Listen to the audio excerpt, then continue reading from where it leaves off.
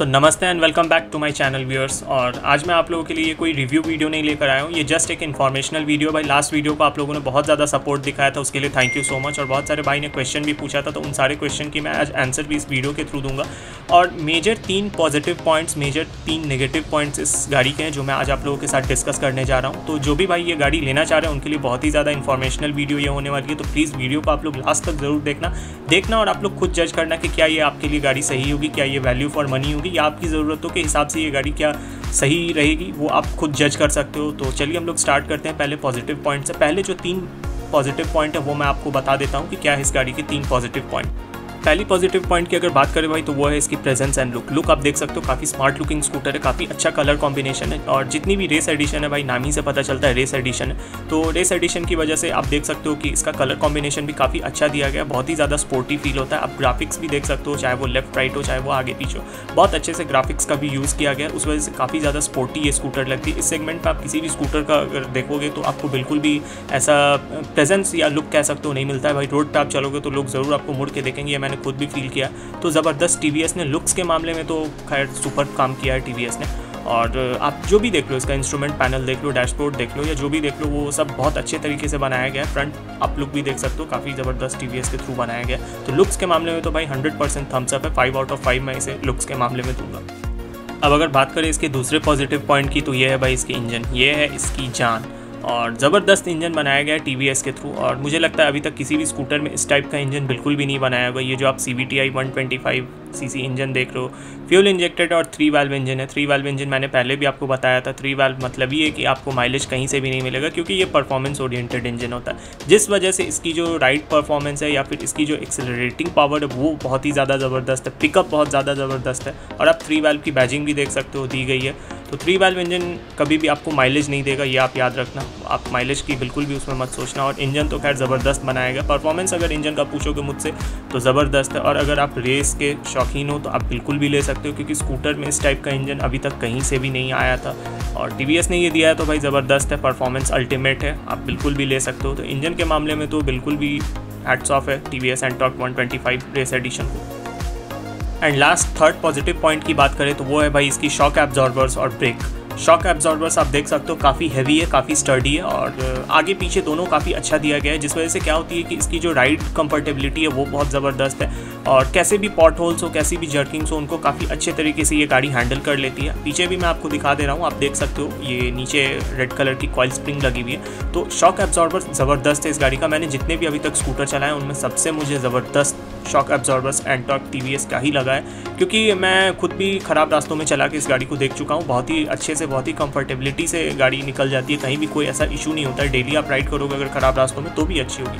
और अगर break performance की बात मैं बताऊँ तो भाई वो नेक्स्ट लेवल है। काफ़ी स्टेबल ब्रेकिंग है, काफ़ी स्मूथ ब्रेकिंग है। आगे आप देख सकते हो पेटल डिस्क दिया गया तो डिस्क ऐसे भी है तो भाई ब्रेकिंग परफॉर्मेंस अच्छी होगी और पीछे ड्रम ब्रेक दिया गया और इसमें सिंक्रोनाइज ब्रेकिंग टेक्नोलॉजी का यूज़ किया गया तो वो जो टेक्नोलॉजी यूज़ किया गया वो काफ़ी अच्छे से ट्यूनअप किया गया है। आगे पीछे की जो ब्रेक है, वो काफ़ी अच्छे से इंगेज होती है। और चूँकि गाड़ी बहुत ज़्यादा हाई पावर है, बहुत ज़्यादा तेज़ भागती है तो उस वजह से ब्रेकिंग भी अच्छी होनी चाहिए। तो वो मैंने खुद भी टेस्ट किया है। ब्रेकिंग परफॉर्मेंस काफ़ी अच्छी है, काफ़ी स्टेबल ब्रेकिंग है और काफ़ी स्मूथ ब्रेकिंग है। A few moments later. और आइए अब बात कर लेते हैं इसके तीन मेजर ड्रॉबैक्स की। और जो पहली ड्रॉबैक है, वो है भाई माइलेज माइलेज का बहुत ज़्यादा इशू है और जितने भी यूज़र्स हैं अपने एंटॉट के, वो हमेशा यही बोलते हैं कि भाई माइलेज नहीं देती है। तो माइलेज नहीं देने की वजह भी है, मैंने पहले भी आप लोगों को वीडियो में बताया था कि ये थ्री वेल्व इंजन है। Generally scooters two valve engine होते हैं। टू वेल्व में आपको माइलेज अच्छी मिलती है फ्यूल इकोनॉमी अच्छी मिलती है। बट ये थ्री वेल्व इंजन है परफॉर्मेंस ओरिएंटेड इंजन है, काफ़ी हाई पिकअप है इसका, काफ़ी हाई एक्सेलरेशन है। तो आपको माइलेज बिल्कुल भी ये नहीं देगी, मुझे भी नहीं दे रही है माइलेज और मुझे आगे भी नहीं देगी, ये मैं एक्सपेक्ट कर रहा हूँ। माइलेज ठीक है, बहुत कम भी नहीं है, लेकिन बहुत ज़्यादा भी नहीं है। और यहाँ आप देख सकते हो कंपनी ने क्लियर कट मेंशन किया आर यानी इसका जो फ्यूल इंजेक्शन सिस्टम है, वो रेस ट्यून्ड किया गया रेस ट्यून्ड का मतलब ही आप समझ सकते हो कि काफ़ी फास्ट है। तो माइलेज तो आपको वैसे भी नहीं मिलेगी। और परफॉर्मेंस के लिए आप एकदम ले सकते हो हंड्रेड परसेंट रिकमेंडेड है ये गाड़ी। बट अगर आप माइलेज की वजह से ले रहे हो तो भाई आप याद रखना, कहीं ना कहीं गलत साबित हो सकते हो ये गाड़ी लेने में। एंड सेकंड मेजर इशू मैं आपको बता दूँ तो वो है भाई इसकी बिल्ड क्वालिटी अब बिल्ड क्वालिटी के बारे में मैं आपको क्या ही बताऊँ, मैं खुद भी इसे बहुत ही प्रिकॉशन लेकर चलाता हूँ। क्योंकि आप देख सकते हो फुल फाइबर बॉडी है, पूरे प्लास्टिक पार्ट्स हैं। एक भी पैनल ऐसी नहीं है जो मेटल की हो, भाई सारे प्लास्टिक पार्ट्स हैं। आप साइड के पैनल देख लो, ये भी आपको फाइबर में मिलते हैं। ये चेस्ट आप देख लो, ये भी फाइबर ऊपर के वाइजर ये भी आपको फाइबर में मिलते हैं। नीचे मड गार्ड्स देखोगे, वो भी आपको फाइबर में मिलते हैं। तो जहाँ फाइबर या प्लास्टिक बॉडी की बात आती है, वहाँ पे आप बिल्ड क्वालिटी क्या ही एक्सपेक्ट करोगे? मैं बिल्कुल खुद भी अनसेटिस्फाइड हूँ इस चीज़ से। और कंपनी को इस चीज़ पे थोड़ी सी ध्यान देनी चाहिए थी। परफॉर्मेंस नो डाउट कंपनी ने बहुत अच्छा बनाया है। इंजन कंपनी ने बहुत अच्छा बनाया है। बट थोड़ी सी बिल्ड क्वालिटी वाली इशू मुझे लग रही है। कंपनी ने थोड़ा सा बिल्ड क्वालिटी में कॉम्प्रोमाइज़ कर लिया है। मुझे ये एक मेजर इशू लगा, इसीलिए मैं आप लोगों को बता रहा हूँ कि बिल्ड क्वालिटी कहीं ना कहीं भाई अनसेटिस्फैक्ट्री है इस गाड़ी की। और अब बात करते हैं third and last major drawback की तो वो है भाई इसकी ये इंस्ट्रूमेंट क्लस्टर देखने में काफ़ी ज़्यादा इन्फॉर्मेटिव है, बहुत ज़्यादा अट्रैक्टिव है, काफ़ी स्पोर्टी लगती है। और आगे आप देख सकते हो कंपनी ने एक स्टिकर लगाया था स्मार्ट एक्स कनेक्ट मतलब कि ब्लूटूथ कनेक्टिविटी है इस गाड़ी में। तो वो जो ब्लूटूथ कनेक्टिविटी है, वो बिल्कुल भी स्टेबल नहीं है, मैं खुद भी यूज़ करके देख चुका हूँ, बहुत ही फ्रीक्वेंटली डिसकनेक्ट होते रहती है। और इशू ये नहीं है इशू ये है कि जो मोबाइल ऐप है टीवीएस का, उसके अंदर जितने भी फीचर्स है, वो उतने मतलब कि यूज़फुल नहीं है, किसी काम के मुझे नहीं लगे। और मैं कनेक्ट भी नहीं करता हूँ क्योंकि मुझे उतने यूज़फुल वो फीचर्स लगे नहीं। तो और कनेक्टिविटी का बहुत ही ज़्यादा इशू है तो मेरा तो भाई यही मानना है कि अगर कंपनी ने ये फीचर दिया है तो भाई उसको थोड़ा सा स्टेबल करना चाहिए था, अच्छे से देखना चाहिए था। बट ये कहीं ना कहीं एक ड्रॉबैक है कि भाई ब्लूटूथ कनेक्टिविटी होते हुए भी आप यूज़ अच्छे से नहीं कर सकते हो।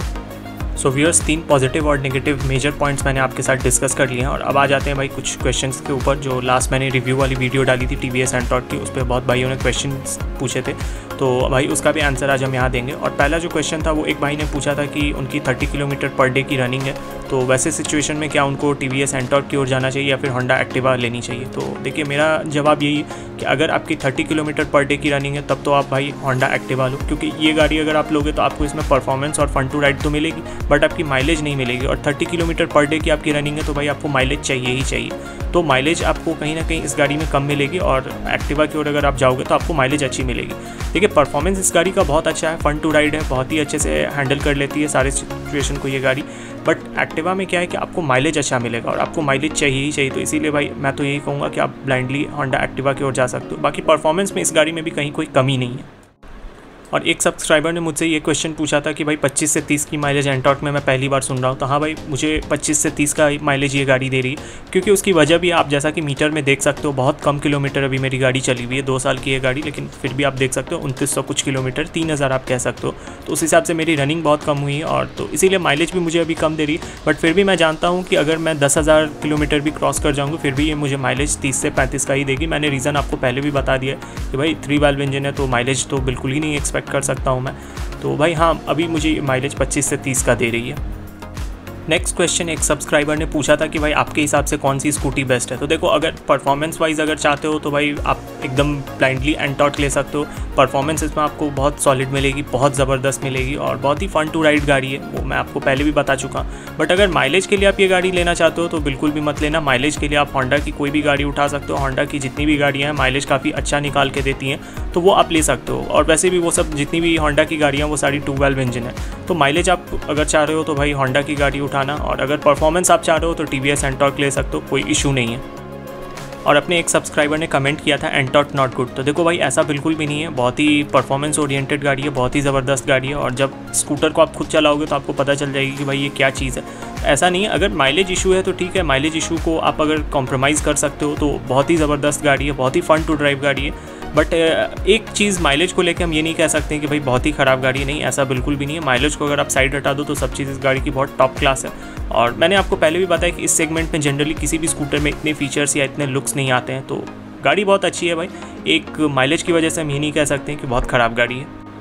और व्यूअर्स लास्ट में मैं यही कहना चाहूँगा बहुत ही बेहतरीन और बहुत ही स्पोर्टी स्कूटर है। आप लेना चाहो बिल्कुल ले सकते हो। हाँ थोड़ी सी माइलेज आपको निराश कर सकती है बट वो कोई ऐसी मेजर इशू नहीं है। आई होप कि टी वी एस के लिए जितनी भी डाउट्स थे वो मैंने सारे क्लियर कर दिए। जिन भाइयों ने क्वेश्चन पूछा था, उनका भी मैंने अच्छे से जवाब दे दिया। फिर भी कुछ रह गया हो तो आप नीचे कमेंट में पूछ लेना। मैं जल्द से जल्द जवाब दे दूँगा या फिर उसके ऊपर एक डेडिकेटेड वीडियो बना दूँगा। और अगर आपने टी वी एस का रिव्यू वाला वीडियो अभी तक नहीं देखा है तो नीचे मैं डिस्क्रिप्शन बॉक्स में लिंक दे दूँगा। आप लोग जाके चेकआउट कर लेना। और वीडियो अगर अच्छी लगी हो तो प्लीज़ लाइक कीजिएगा शेयर कीजिएगा और चैनल को सब्सक्राइब ज़रूर कीजिएगा। Thank you people for patiently watching this video